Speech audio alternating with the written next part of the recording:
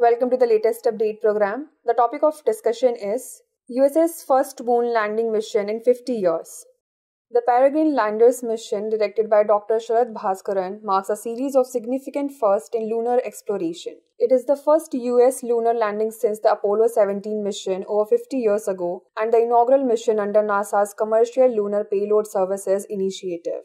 Additionally, this mission features the debut flight of United Launch Alliance's Vulcan Centaur rocket, which will transport the Peregrine lander.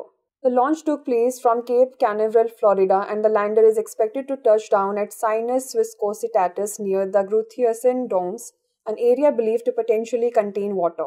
The mission's objectives include investigating the lunar exosphere, thermal characteristics, hydrogen content in the lunar regolith, magnetic fields, and the radiation environment, as well as assessing advanced solar arrays. These scientific endeavors aim to enhance understanding of the interactions between solar radiation and the lunar surface.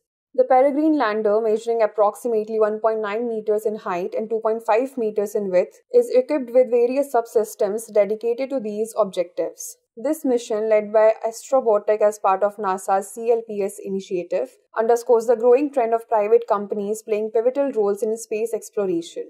Dr. Bhaskaran's leadership in this mission, following a distinguished career at Lockheed Martin and his own consulting company, represents a significant milestone in commercial lunar exploration. Now it's time to test your knowledge.